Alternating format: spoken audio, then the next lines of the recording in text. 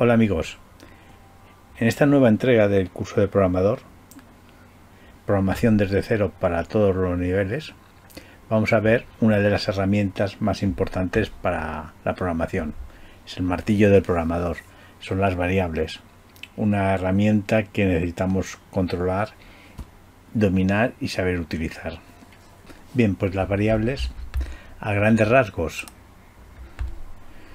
son los elementos dentro de nuestro ordenador que nos permiten almacenar valores. Tiene mínimo dos características que son importantes, que es el nombre, que es fijo y no cambia durante la ejecución del programa, es decir, una vez que hemos nombrado a una variable con un nombre, ese nombre se va a mantener a lo largo de todo el programa. Y tiene una segunda característica importante que es su valor el valor que en un momento dado tiene esa variable. Que este valor sí que puede cambiar, puede variar. De ahí el del nombre variable durante la ejecución del programa. ¿Qué significa que puede variar? Porque en un momento puede tener 84, como en otro momento puede tener 52. Esos valores pueden ir cambiando. De hecho, muchas variables van a ir cambiando a lo largo de toda la ejecución del programa. De hecho, en eso se basa mucha programación. A nivel nuestro podemos asemejar una variable como una cajita donde podemos colocar cierta información mediante una anotación en un papelito. Es decir, podemos tener una cajita con un papelito en donde podremos anotar cierta información en ese eh, papelito y dejarlo dentro de la cajita. Que estará ahí dentro de la cajita hasta que lo necesitemos. Hasta que el momento que necesitemos saber qué es lo que pone en esa cajita, sacamos el papelito, lo leemos y o podemos volver a depositarlo o podemos borrarlo, tacharlo, tirarlo a la papelera y anotar otro papelito con otra información y volver a introducir en, la cajita. Lo que es importante es que en la cajita solo puede contener un único papelito y el papelito solo puede contener un tipo de anotación. Es decir, puede tener un saldo de mi cuenta bancaria, puede estar en blanco o el nombre de mi jugador favorito de fútbol, pero no puede tener eh, mi saldo y apuntado en pequeñito el nombre de, de mi jugador favorito de fútbol. Básicamente no hay que hacer trampa, es un papelito para tener una información, una única información. En esto se basa lo importante de las variables. Las variables mantienen una información, pero tienen un dato no tienen varios datos. Hay variables especiales que ya hablaremos más adelante que pueden contener varios datos que son lo que veremos que son las matrices y hay diferentes estructuras de variables. Pero ahora básicamente es una variable un dato. Ese dato puede variar y muy importante el nombre de la variable o el identificador. Lo mismo a cada cajita la identificaremos con un nombre o identificador. Por ejemplo, C1 otra C2, otra C3, etcétera, cajita 1, cajita 2, cajita 3. Es muy típico en, lenguaje de programación poner letras a variables que son utilización muy repetitiva. A, B, C, D son diferentes variables que podemos utilizar, pero la variable, los nombres de las variables pueden ser bastante descriptivos de decir la información que tiene esa variable dentro. A nivel de programación ya veremos que tenemos varias utilidades. Pero ahora básicamente lo que nos tenemos que quedar es que la variable tiene un nombre o identificador y que puede tener un valor que puede estar en blanco, vacío, cero o puede tener un valor numérico o un valor de letras. Cuando hablamos de valores de letras pueden ser letras, números o caracteres especiales. Entonces veamos por ejemplo, aquí tenemos tres variables, C1, C2 y C3, que en un ordenador, en el ordenador básicamente son tres variables en memoria, tres variables C1, C2 y C3, que a la variable C1 hemos colocado el valor 25, en la variable C2 el valor PP, y a la variable C3 hemos colocado el valor 32. Ahora, si volvemos a la analogía con las cajitas, pues de, forma muy análoga, vamos a ver que en nuestra mesa donde estamos eh, trabajando, pues hemos colocado tres cajitas que las hemos llamado C1, C2 y C3. Y en la cajita C1 hemos apuntado en el papelito 25. En la cajita C2 hemos apuntado PP. Y en la cajita C3 tenemos un papelito apuntado 32.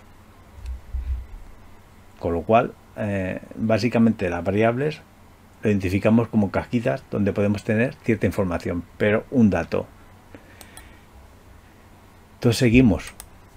¿Qué podemos eh, mantener?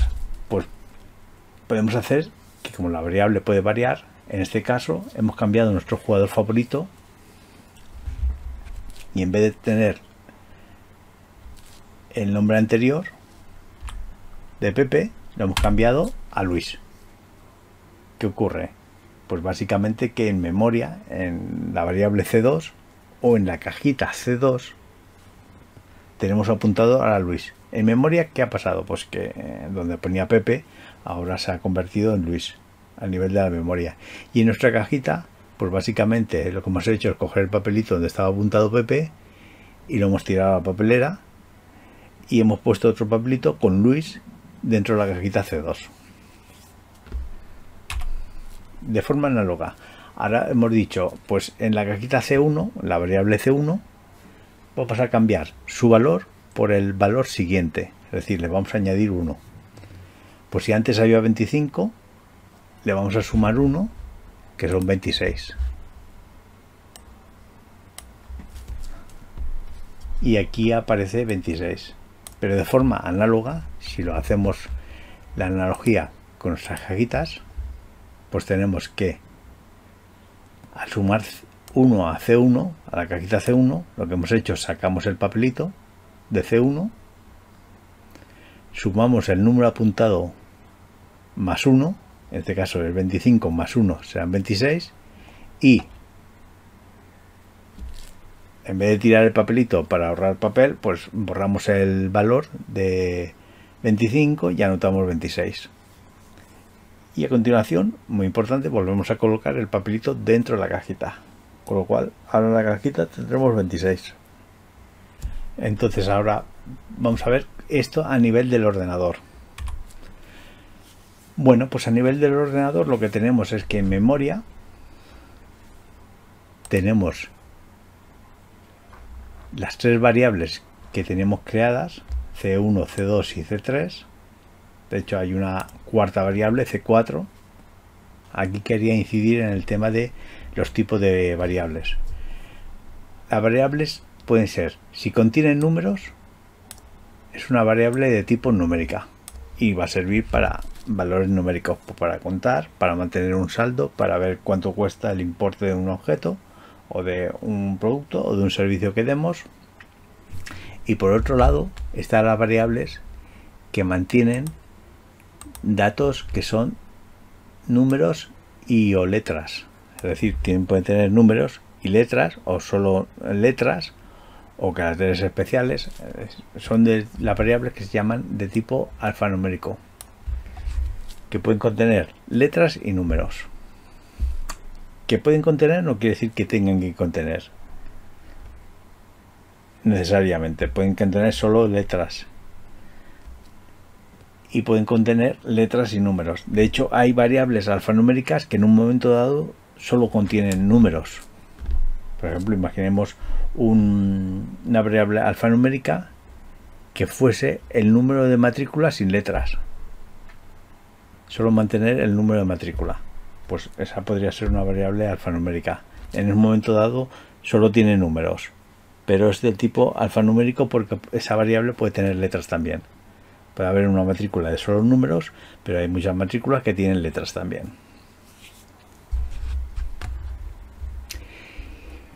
Y ya por último, aquí en, en este apartado que vemos que la memoria mantiene un apartado dentro de las variables.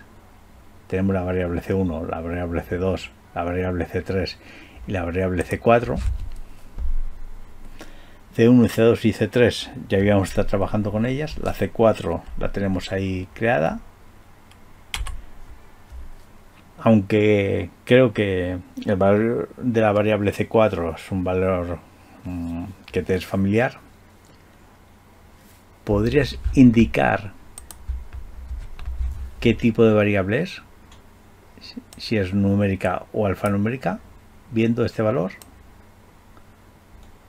¿Puedes indicar si es de tipo numérico o alfanumérico? Pues evidentemente es una variable de tipo alfanumérica. ¿Y por qué es alfanumérica? Pues porque tiene números, tiene letras, podría tener también caracteres especiales, pero en este caso pues tiene números y letras. Es una variable de tipo alfanumérica. Entonces nosotros ahora tenemos para distinguir dos tipos de variables, las numéricas y las alfanuméricas variables numéricas que contienen números y variables alfanuméricas que mantienen valores que pueden tener números y letras. Bien, vamos a abrir Paint. Aquí tenemos Paint, entonces aquí lo que vamos a hacer es vamos a crear un par de variables y vamos a asignarles un valor. Por ejemplo, la variable C1 teníamos asignado el valor 25 por C1 flechita a la izquierda 25 esto básicamente quiere decir que asigna 25 a la variable C1 hay diferentes formas de poner la asignación otra asignación por ejemplo sería C3 igual a 32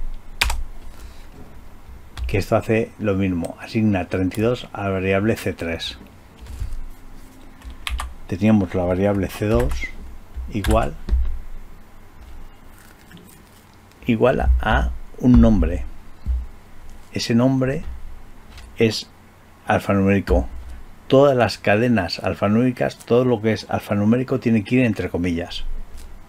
Entonces, aquí teníamos Luis. y tenemos una variable c4 donde tenía un valor básicamente r2 de 2 de nuevo como dijimos que era de tipo alfanumérico tiene que ir entre comillas. Vamos a ver cómo estas variables están almacenando la información y de qué tipo son. Para ello utilizamos eh, esta utilidad del present aquí a la izquierda que nos indica el tipo de variable. Aquí tenemos la variable C1 que me indica que es de tipo numérico, el 42 quiere decir que es de tipo numérico, la variable C2 que es de tipo alfanumérico, la A me está indicando que es de tipo alfanumérico, la variable C3 que habíamos inicializado con 32 es también de tipo numérico y la variable C4 que es de tipo alfanumérico. Aquí nos está diciendo C4 alfanumérico. En, en un vídeo anterior habíamos visto la instrucción escribir vamos a utilizarla. Escribir pues que me escriba el C1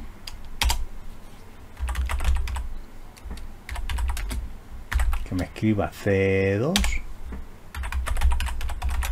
que me escriba C3 y que me escriba C4 vamos a ejecutarlo. Nos acordamos de, ejecutarlo mediante el triangulito azul con indicación hacia la derecha.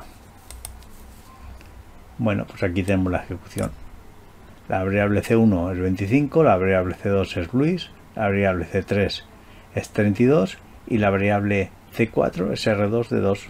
Si nos fijamos, a la hora de definir las variables, no he puesto ningún orden establecido, es decir, no hay que hacer primero la variable C1, luego la variable C2 y luego la variable C3, sino que las puedo asignar de forma que a mí me convenga.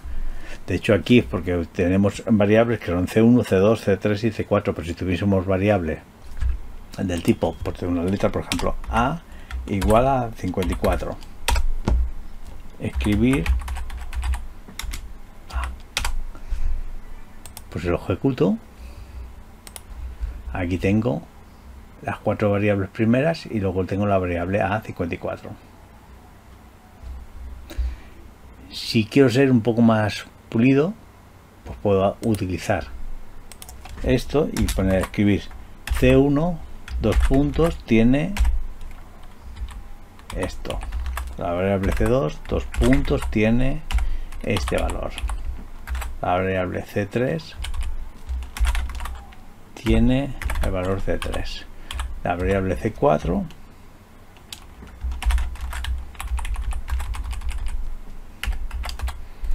tiene valor C4 y la variable A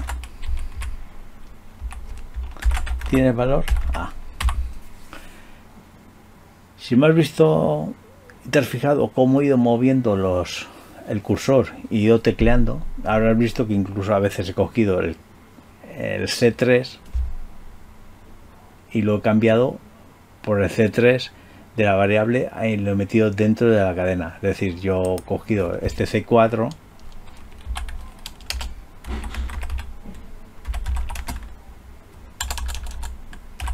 escribir C4 y esto me escribirá la variable C4 pero si yo ahora cojo y lo pongo entre comillas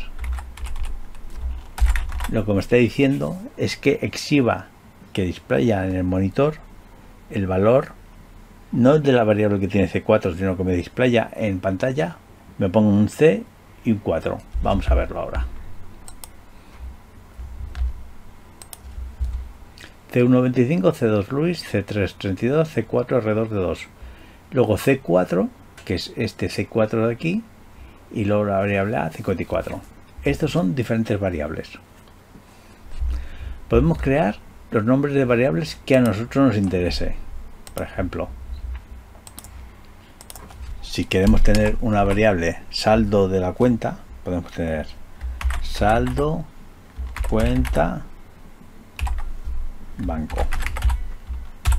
Y bueno, tenemos 323 con 32 euros. Escribir saldo de la cuenta banco. Bien, pues aquí tenemos el saldo de la cuenta. De hecho, en el momento que yo cojo con Present y marco en la línea que quiera, él me va a marcar que instrucción ha dado origen a que se reproduzca eso en nuestro, eh, nuestro monitor. Por ejemplo, el R2D2, este C4 R2D2 es debido a la línea que está en la posición 9. Yo de los números estos me voy a olvidar. Voy a utilizar simplemente de momento mi estructura que va desde arriba hacia abajo.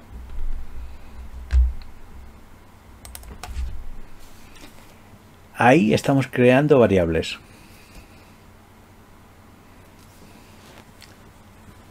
La variable numérica, que es un número que tiene decimales, porque las variables numéricas pueden tener cantidades decimales, no simplemente tienen que tener números enteros. Variables numéricas son números y los números pueden ser o enteros o con decimales. De hecho son números reales.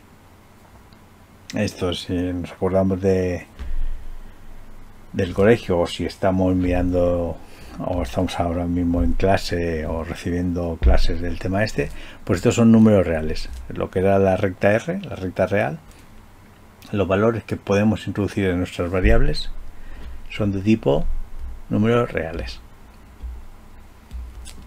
Que puede ser Dentro de los reales tenemos los enteros y dentro de los enteros tenemos los naturales.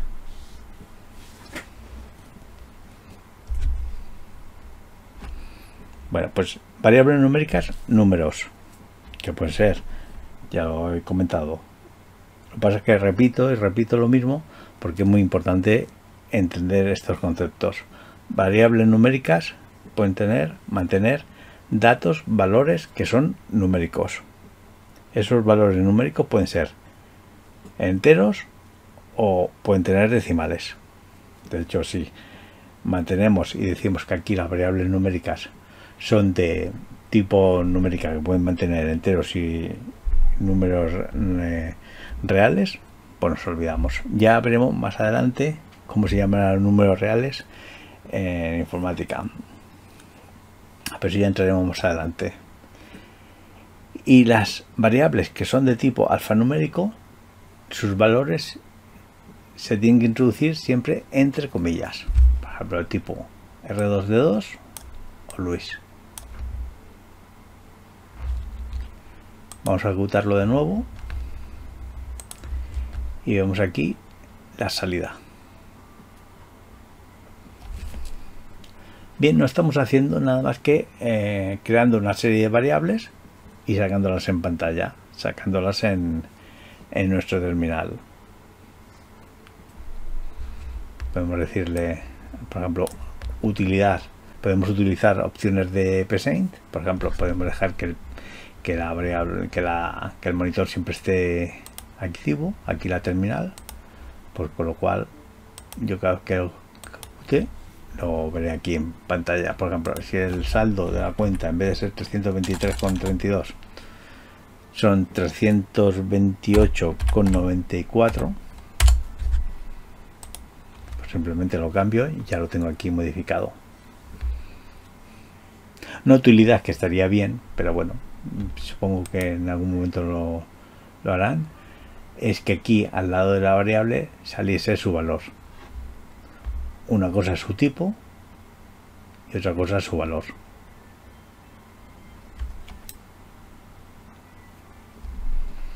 Bien amigos, pues hasta aquí este vídeo sobre las variables. Muy importante, dos temas. En la variable de dos tipos, numérica y alfanumérica, dos características imprescindibles de las variables son su nombre. En este caso somos C1, C2, C3, C4 y aquí tenemos cómo sacarlo en la terminal y luego su valor. Su valor puede variar, pero su nombre no. un último apunte es, yo aquí puedo escribir el saldo de la cuenta del banco, que en este momento son 328,94, pero si me han hecho un ingreso de imaginemos 1000 euros, pues en ese momento yo tendré 1328,94. Si yo ahora cojo y escribo el saldo de la cuenta lo tengo aquí 328,94 en, el momento este tenía 328,94 pero en cuanto me han hecho el ingreso de esos 1000 euros pues mi saldo en la cuenta son 1328,94 ya anticipo que esta forma de de trabajar no, no es la normal, no, no, es la que vamos a utilizar, pero sí que vamos a utilizar esto para asignar ciertos valores que luego se irán modificando en función de, pues de nuestro programa, de nuestra eh, lectura de datos y de nuestro proceso. Ya veremos más adelante.